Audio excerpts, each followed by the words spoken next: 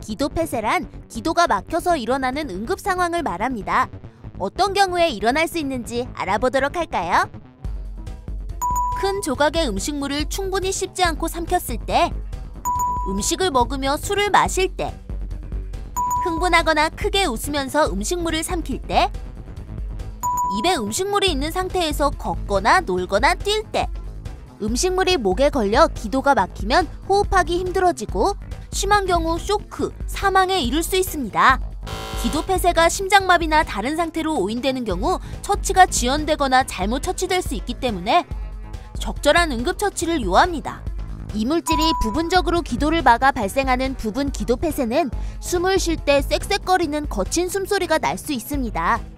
환자 스스로 이물질을 뱉어내려고 하면 방해하지 말고 곁을 지켜 계속 기침하도록 도와주고 기침이 멈추지 않으면 119에 연락하여 도움을 청합니다. 호흡이 잘 안 되는 경우에는 기침이 약하고 호흡할 때 거친 소리가 납니다.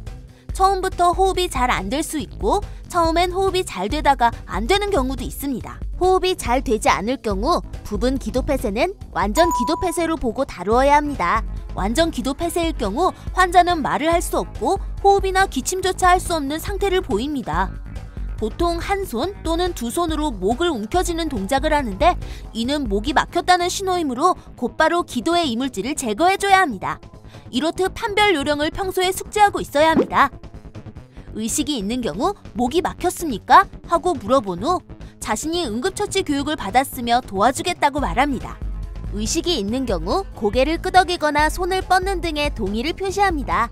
환자를 서거나 앉힌 뒤 환자 뒤에서 팔로 환자의 허리를 감고 한 손의 엄지손가락이 배꼽 위와 흉골 아래쪽 끝 사이에 복부 중앙에 오도록 주먹을 쥡니다. 주먹 쥔 손을 다른 손으로 잡고 팔꿈치가 환자의 바깥쪽을 향하게 하여 환자의 복부 안쪽으로 주먹을 누르며 위를 향하여 빠르게 밀어냅니다. 반드시 환자의 복부 중심선에 주먹이 오도록 하고 옆으로 밀어내는 일이 없도록 합니다.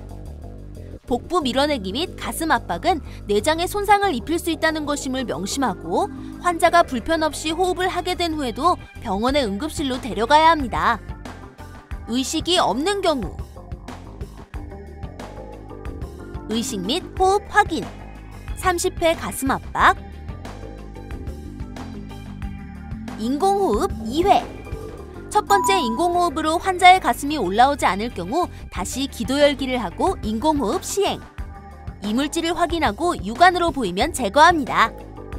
환자 얼굴을 위로 향하게 하고 입을 벌린 뒤 처치자의 엄지와 다른 손가락으로 환자의 혀와 아래턱을 잡아 턱을 들어 올려 검지를 갈고리 모양으로 하고 이물질을 꺼냅니다.